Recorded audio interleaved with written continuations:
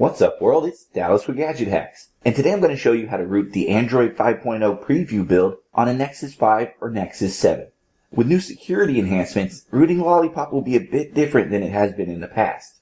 But SuperSU developer Chainfire has already put in a lot of work, and the rooting process is still pretty simple as a result. So to get started, you'll need to enable USB debugging on your device. The process here is the same as it was on KitKat and older builds.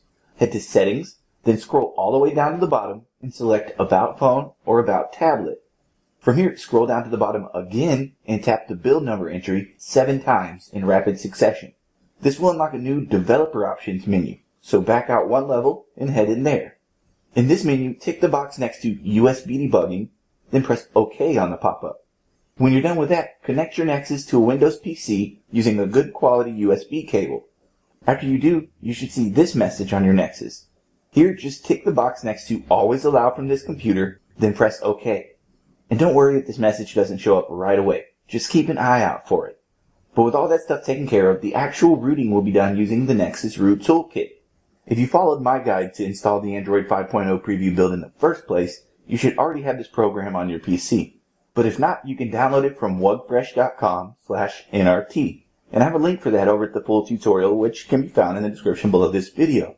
But anyway, go ahead and launch Nexus Root Toolkit at this point. WugFresh just released a new version that supports Android 5.0, so chances are your version will need to be updated. So go ahead and click OK on this message and let NRT update itself to the latest version. When it's done with that, the toolkit will ask you what device you have and what Android version it's running. So select your device from this menu up top.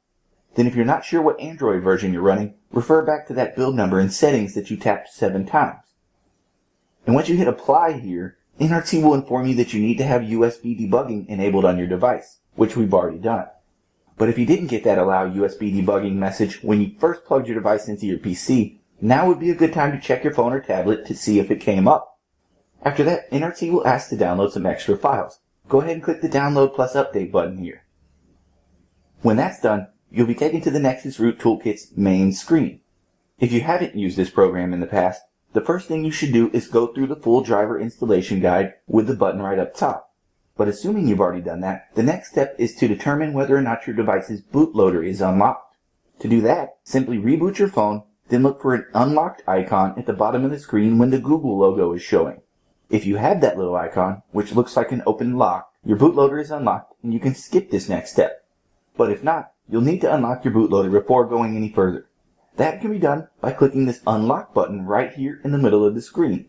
Be warned though, this process will wipe your device, so make sure you have any sensitive data backed up. So to confirm your selection here, click OK, and then Yes. Give the toolkit a few minutes to unlock your bootloader, then when it's finished, you'll see this message. Like it says, you'll have to enable USB debugging on your Nexus again, but once you've done that, you're ready to root. NRT makes this part pretty simple. This button near the bottom of the window is all you need, but you can also take this time to install a custom recovery if you'd like. A custom recovery will let you make full backups of your system and even install flashable zips and other mods, so that's definitely something to consider. But when you're ready, just click the root button. After that, go ahead and click OK on this next message. This part of the process should take a few minutes, and when it's done, you'll see this message.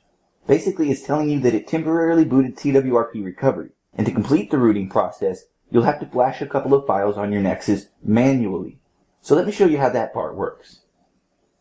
Over on your Nexus, you should see this screen now. Go ahead and tap Install here.